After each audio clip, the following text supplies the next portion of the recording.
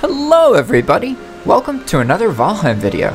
Today we're going to look at how much space it takes to have everything you have in an end game base. You know, a base that has one of every single thing you need to make everything, store everything, use everything, have a dock for your boat, you know, all your Valheiming stuff in the end.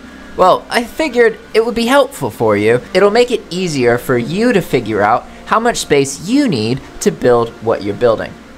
To help you better visualize how much space you'll need, I've simplified it. So I've made it so one square is just one tile here. Technically, this is four square meters because this is actually one square meter in the Valheim game world. But the numbers are too confusing, they're four times bigger. May sound like a lot, but it confused me. So I made it simpler. When you actually build this stuff, you need to put space so you can interact with it, right? You can't just look at how much space the item takes up. You also have to basically double it so that you have runway and walkway to interact with everything. Otherwise, your planning won't really work because you don't account for that you need space to walk through everything. So that's why a lot of these squares you see are a bit bigger than the items that they contain. Let's first get started with the most common areas. The workbench area takes around 10 squares, with all of the updates that are currently available as of Hildir's request. The forge is a little bit bigger, takes around 12 squares.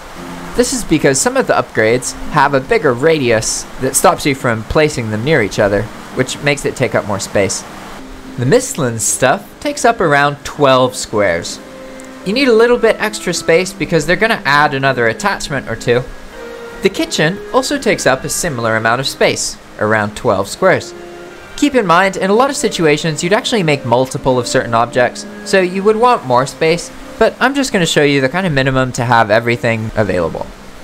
And of course, this is Valheim, so to not include storage is absurd. A storage space could be really big, really small, they can vary a lot, but 9 squares seems pretty appropriate, and as you progress, you can make much better storage options. Now, the living area is very intense. This whole area is quite big. It takes up around 30 squares, and that's that's assuming you have everything you need. And also, see, there's the barber thing.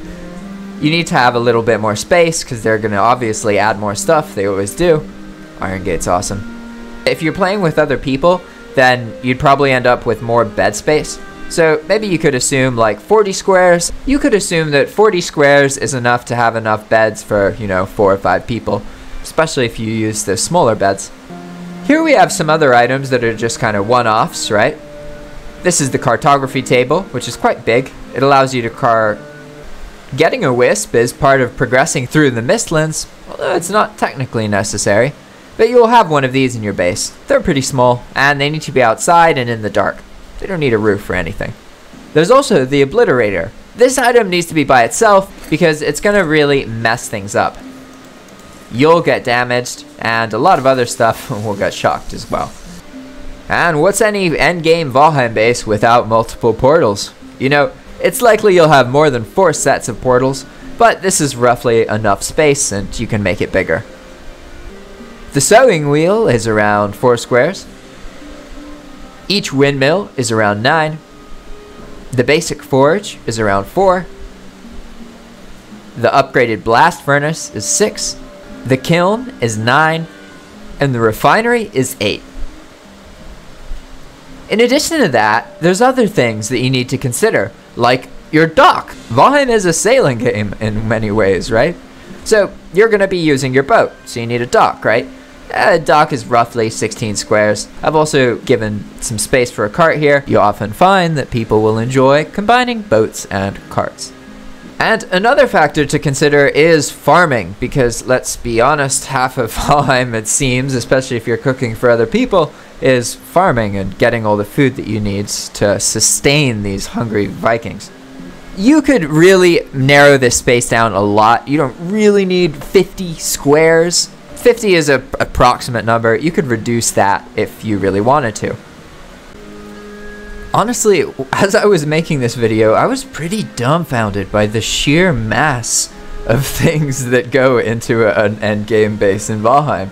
I mean, I've played through a couple times normally, and I, I don't know, because you build it slowly over time, it doesn't really feel like you build that much, but just building it for this video, it took a while. You know, and I was I was just splitting everything. It still took a while. It's awesome. I love Valheim. It's so cool how I mean the the amount of stuff that goes into a base. If you make your base and you put all this stuff in it, there's no way it's going to be the same as someone else. You know, there's just too many different options for where things can go. When I've played Valheim, it's really showed me that games don't have to make me feel depressed.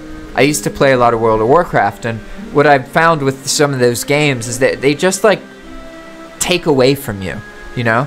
But a game like Valheim, it's so creative. Like it I, I can play Valheim and it inspires me and I do creative things in my life and it helps me channel that creative energy. It's it's awesome. It's really beneficial and it it's a good game. Like it's good to me. It treats me good, you know?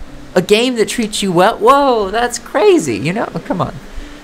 And if you want to support my work, then consider getting a dedicated Valheim server your friends can join and do stuff with it while you're away and doing other stuff. So when you log back on, well, things have changed. And it really makes the world feel more immersive. Because most Valheim playthroughs, they, they usually last like maybe one month to three months. But most people don't just keep playing Valheim. They'll, they'll play it again in the future, but they're going to stop, take a break, do other stuff. That's kind of naturally what happens to people. So you shouldn't expect that you know oh it's going to be worth if you get a server for six months or a year I, I really encourage you not to do that um, just because you'll probably end up not using it as much as you'd like to so stick with a month or three months and that's pretty much as long as people use it if you leave a comment below about something you want me to make a tutorial about I will make a video just for you I like to respond to comments by making videos because you guys are always able to ask questions that I don't really consider. So comment below and let me know what you think